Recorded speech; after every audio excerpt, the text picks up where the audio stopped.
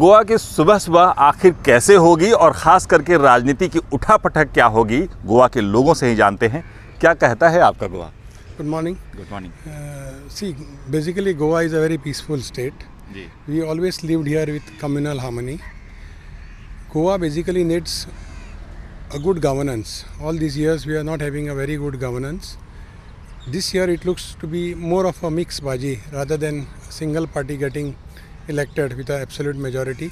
Hmm. But still, I hope that BJP makes a double digit mark and forms the government because of the central government. लेकिन जिस तरीके से आपने कहा कि पिछले दिनों गुड गवर्नेंस नहीं था बीजेपी की सरकार थी दस सालों से बीजेपी की सरकार थी yes I agree on that but it must be little lack of experience of present MLAs they focused more on central government fund they lost their track on how to reach out to people basically on employment, roads, infrastructure, and they were more interested in retaining their power rather than uh, focusing on other things. क्या आज भी आप लोग मनोहर पर्रिकर को miss करते हैं Yes, uh, he was a good administrator, a lovely, fantastic leader. But there is nothing irreplaceable. There are other leaders also as well. If Manohar Parikar is not there, people can learn something from him and carry it ahead. ज़ाहिर है कि कई ऐसी बातें और भी हैं जिन लोगों के भी और भी विचार जानने होंगे कि किस तरीके से वो क्या सोचते हैं। ज़ाहिर है कि सबके मन में यही है कि गुड गवर्नेंस होना चाहिए।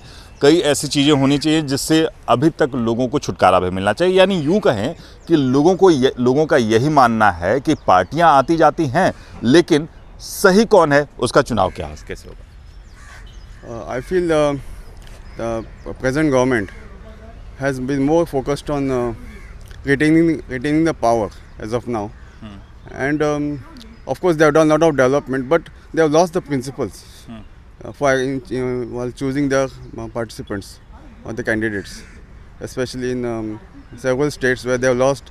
They were talking about uh, no dynasty policy, but you seen families coming together हर जगह में देखा कि जिस तरीके से कांग्रेस हो या बीजेपी हो उसमें भी लोगों के यानी परिवारवाद उसमें भी दिख रहा है। टिकट पति पत्नी को भी मिले हैं बेटे और बेटियों को भी मिले हैं। तो क्या ये ऐसे बातें हैं क्योंकि लोग कहते हैं कि परिवारवाद नहीं है लेकिन फिर भी dynasty politics it is still and से original policies which BJP came forward they lost the track and it's only power that they are looking for so I feel people should give answer to them बिल्कुल। Yeah. लेकिन क्या आपको लगता है क्योंकि जिस तरीके से तीन अलग नई दो अलग नई पार्टियाँ आई हैं यानी आप आई है इसके बाद तृणमूल कांग्रेस आया तो कुछ ऐसा फुल मेजोरिटी किसी को मिल पाएगा? I feel it will be fractured way this time फिर से वही होगा कि post poll alliance will happen ये तो ज़रूर गोवा के लोगों के लिए पूरी सबसे बड़ी बात हो जाती है कि सबसे दुखद बात हो जाती है कि जिन्हें जिन्हें उन्होंने वोट किया है पोस्ट पोलायंस वो अलायंस करते हैं पोस्ट पोल अलायंस करते हैं तो वो appoint in two thousand seventeen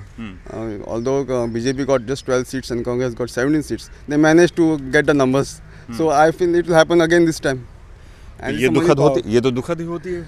या it's very sad part of Indian democracy because I feel the multi party system which is prevalent in India it is the bane of India It should be just maximum two to three parties which can participate so that people can vote decisively and give a clear mandate. ज़ाहिर है कि गोवा के अलग अलग विचार अलग अलग लोग अलग अलग बातें ज़रूर कहते हैं इसके साथ साथ कई ऐसी चीज़ें हैं जिन्हें जानना भी ज़रूरी है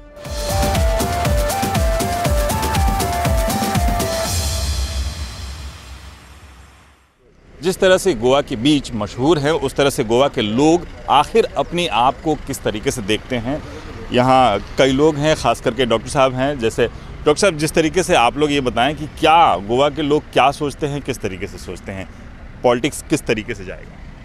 पॉलिटिक्स के बारे में we have no idea at all.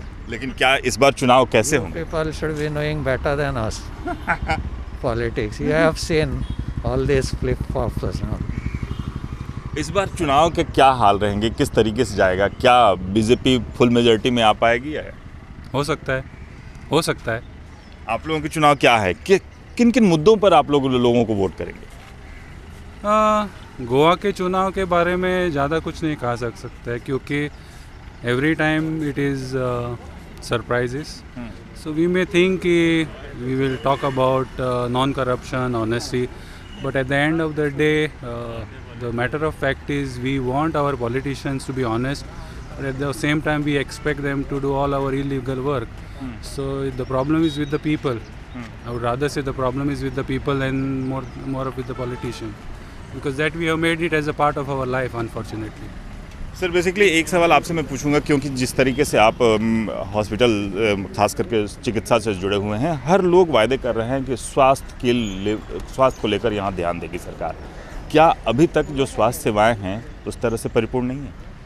Goa has a much better health facilities compared to the rest of the country. But uh, how much they have improved the things in medical college i wouldn't be able to tell you. But private facilities are very good in goa. लेकिन जिस तरीके से लोग वायदे कर रहे हैं कि गोवा के हेल्थ इंफ्रास्ट्रक्चर बेहतर नहीं है वो आएँगे कई पा, नई पार्टियाँ हैं जो कि कह रही हैं कि अगर मैं आऊँगा या मेरी पार्टी सरकार आएगी तो हम हेल्थ इंफ्रास्ट्रक्चर में बदलाव करेंगे। किस तरह के बदलाव की संभावनाएँ आपको दिख रही हैं? I don't see any changes. These are their party manifestos. They just change dates every five years and they must be giving those same manifestos. तो क्या गोवा के. गोवा के लोगों को केवल लुभाने के लिए बस जस्ट अट्रैक्ट करने के लिए सब बातें कही जा रही हैं This is the everywhere. That is not only in Goa. This sort of assurances before elections we have seen for years now. Nothing happens after that. Hardly anything changes. यानी गोवा में बस केवल पार्टियाँ आ रही हैं केवल वायदे करने के लिए लेकिन कुछ चेंज नहीं हो पाएगा। क्या ऐसी? Of course all these outside parties which are coming here and promising freebies and all are at whose cost these are all at tax payers money which they are thinking it's they are to distribute freely as and how they want which is not correct बिल्कुल। Except for freebies what else they are promising दुरुस्त बात। ज़ाहिर है कि जिस तरीके से हर चीज़ आपको फ्री मिल जाएगी, बिजली फ्री, स्वास्थ्य सेवाएँ फ्री, इन बातों को लेकर वायदे ज़रूर किए जा रहे हैं। लेकिन क्या वो सतही तौर पर सही है? गोवा के लोगों का कहना यही है कि केवल और केवल जिस तरीके से वायदे किए जा रहे हैं, वो केवल वायदे हैं। गोवा के लोग उन्हें ही वोट करेंगे जो उनकी बेहतरी के लिए सही, यानी ज़मीनी स्तर पर काम कर पाएगा। कैमरामैन शाहिद के साथ राजीव रंजन सिंह एपीएन गोवा।